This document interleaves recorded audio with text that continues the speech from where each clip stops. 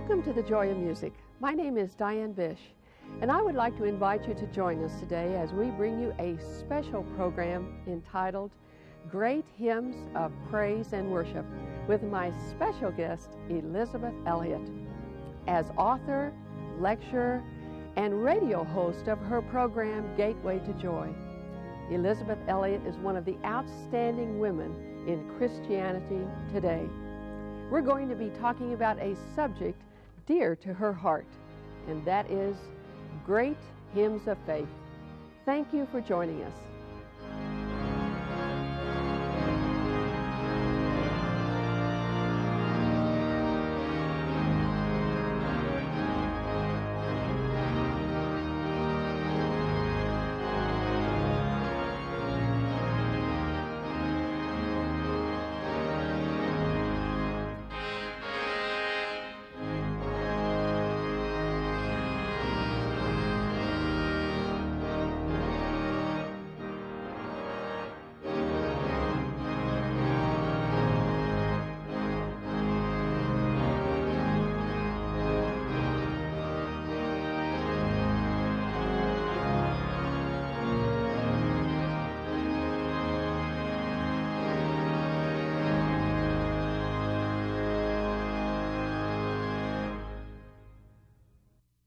It is a very great pleasure for me today to welcome Elisabeth Elliot to the Joy of Music. She has been such an inspiration to thousands, even millions over the years, and certainly an inspiration to me. And in her books, and her writings, and her speaking, and in her radio program, Gateway to Joy, she has been a Christian influence in the lives of so many, and we want to welcome you to the Joy of Music today. Thank you, Diane. This is totally different experience for me. You know, just recently, I have been listening to your tapes on great hymns of the faith and how they have influenced you and what they have meant to you. And so I thought today on the program that it would be wonderful to hear you speak about the hymns where people can watch you and see you speaking about them that you have loved so much and that have meant uh, so much to all of us. And I think one of the first questions I'd like to ask you is how you came to love hymns. Well, there's no question at all that it was because of the influence of our parents. I come from a family of six. I'm number two of six. And I think every one of us was tucked into bed at night by either our father or our mother.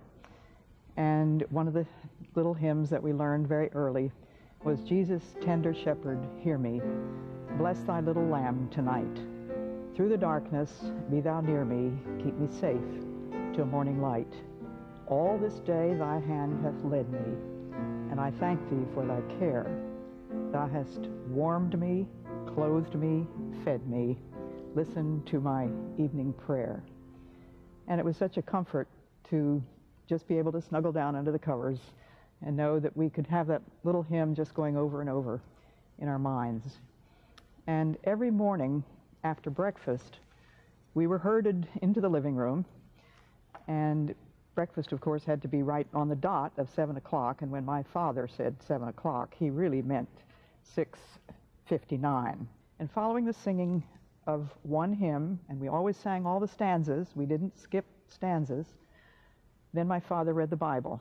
I want to assure any families that may be listening who think, well, how in the world do you ever get six kids to sing hymns and to sit still while you read the Bible? And I said, well, I haven't even finished telling you yet. When the Bible was read, then we had to get down on our knees. And my father and was prayed. this before school every day? Every morning. And my father had to make a train, so there was absolutely no flexibility at breakfast. We knew that that train was going to leave when it was going to leave. So all of this was before we went to school before my father had to leave for work. And he would read the Bible.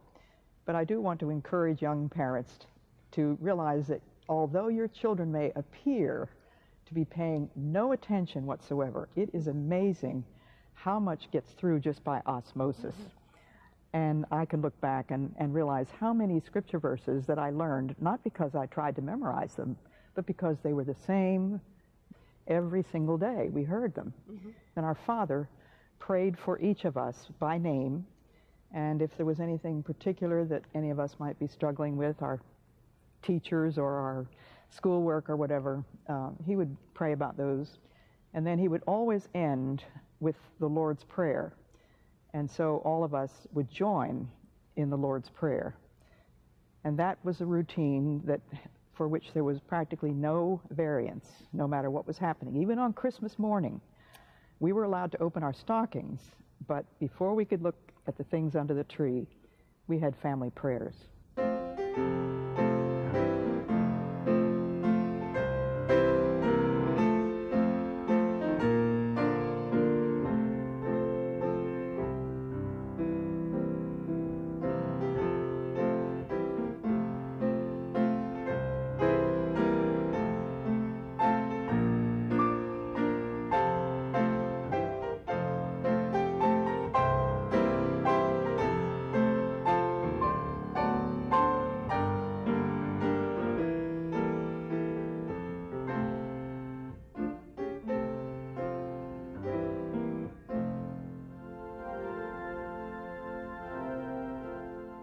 We walk with the Lord in the light of His Word, what a glory He sheds on our way.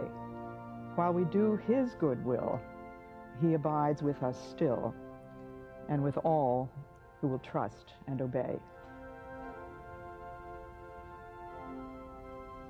Not a shadow can rise, not a cloud in the skies, but His smile quickly drives it away. For the favor He shows and the joy He bestows are for them who will trust and obey.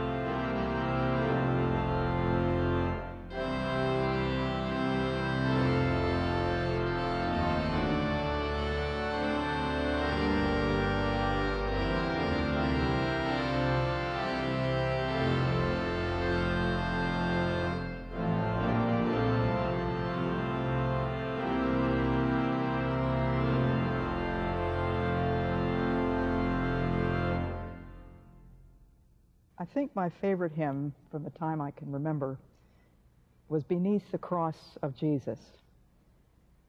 And I have always been drawn very strongly to the cross and to all the hymns that mention the cross.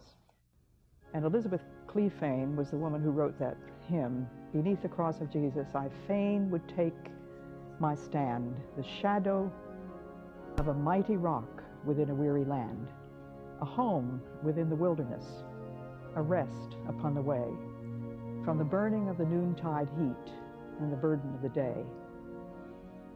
I take, O cross, thy shadow for my abiding place. I ask no other sunshine than the sunshine of his face, content to let the world go by, to know no gain or loss, my sinful self, my only shame, my glory, all the cross. And there's a stanza which is very often omitted from modern hymn books. which I love, O safe and happy shelter, O refuge tried and sweet, O trysting place where heaven's love and heaven's justice meet. As to the holy patriarch, and I'm sure that Elizabeth Clephane must have been referring to uh, Jacob, as to the holy patriarch, a wondrous dream was given. So seems my Savior's cross to me a ladder up to heaven.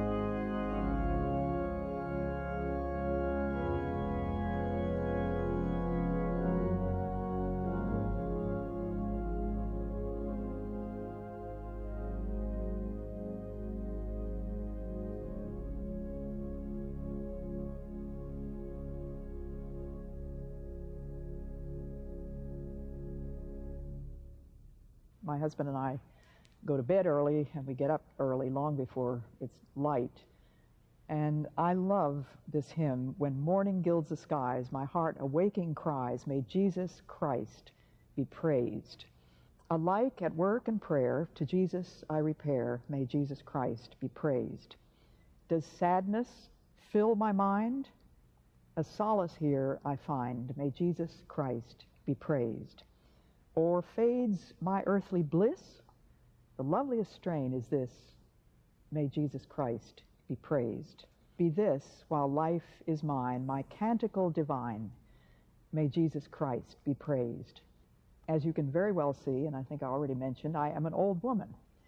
In fact, I have passed the biblical quotient of 70 years. And the more I think about what heaven is going to be like and what my life has been, for which I do thank God, I just want my whole soul to be praise to Jesus Christ. So this last stanza, be this while life is mine, my canticle divine, canticle is a song, may Jesus Christ be praised. Be this the eternal song through all the ages long. May Jesus Christ be praised. And very likely we're going to be singing this hymn in heaven.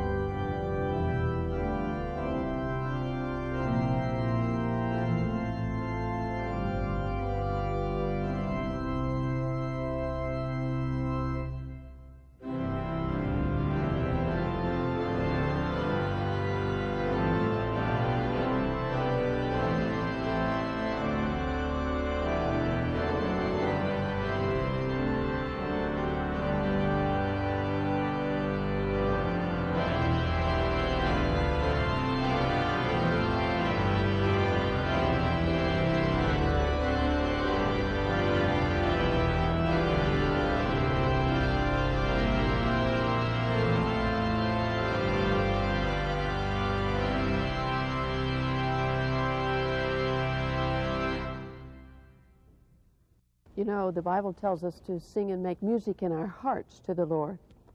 Do you believe it's important to, to sing uh, to the Lord? I mean, when you're in a car driving or when you're at home or. Absolutely. And I'll tell you, I think the main reason we need to sing a lot is because the devil hates it. I think he absolutely deplores hearing Christians sing. And when we are at the very worst times in our lives, at the very end of our rope, we think, oh, this time, you know, everything, everything's just going to fall apart. I don't know what to do. Try singing. We just came from a visit with some dear friends of ours who live in Morristown, New Jersey, and every morning, we've stayed in their home a number of times, the first thing we hear is the two of them singing absolutely beautifully while they're getting dressed.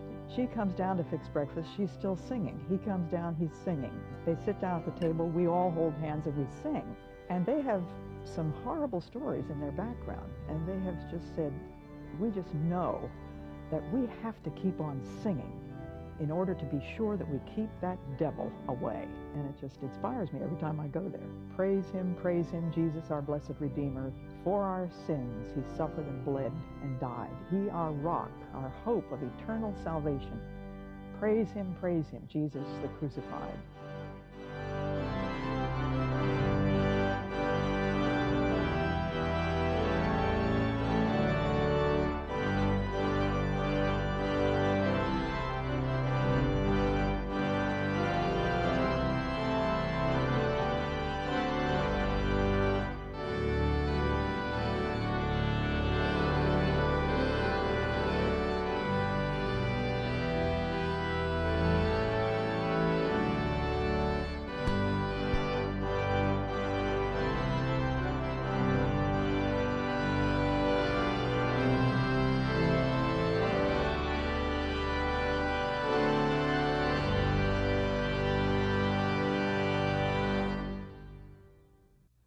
George Matheson wrote several beautiful hymns. I don't know if he wrote a great many, but my favorite that he wrote is called O Love That Will Not Let Me Go.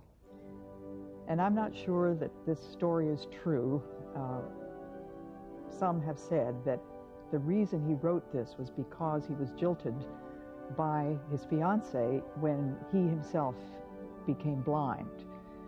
And so he wrote this beautiful hymn, O love that will not let me go, I rest my weary soul on thee. I give thee back the life I owe, that in thine ocean depths its flow may richer, fuller be. O light that followest all my way, I yield my flickering torch to thee. My heart restores its borrowed ray, that in thine sunshine's blaze its day may brighter, fairer be. O joy that seekest me through pain, I cannot close my heart to thee. I trace the rainbow in the rain, and feel the promise is not vain, that morn shall tearless be. And then it goes from love and light and joy to stanza four. O cross that liftest up my head, I dare not ask to fly from thee. I lay in dust life's glory, dead, and from the ground there blossoms red life that shall endless be.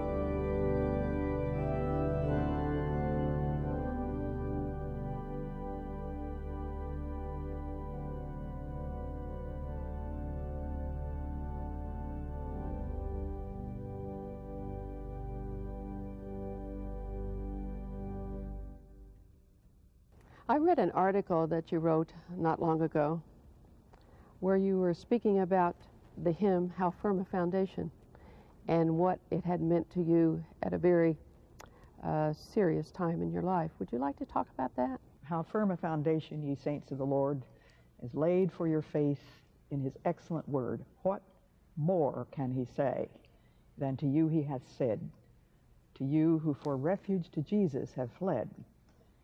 Back in 1956, when my first husband, Jim Elliot, was killed along with four other American missionaries in the jungles of eastern Ecuador, we did not know for almost five days whether the men were dead or alive. We just knew that we had lost radio contact, and it took a group of missionaries and Ecuadorian soldiers and Quechua Indians almost five days on foot to reach where these five men had set up their camp with a small airplane. And so during those agonizing four or five nights as I lay in bed, I would think about these, these wonderful hymns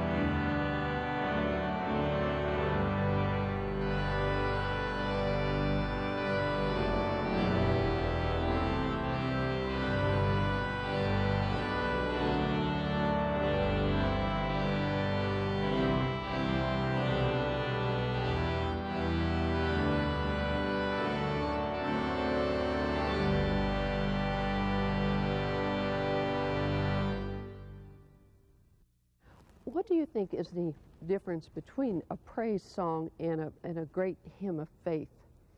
Do you think it's theology, learning the attributes of God? We learned theology through the great hymns.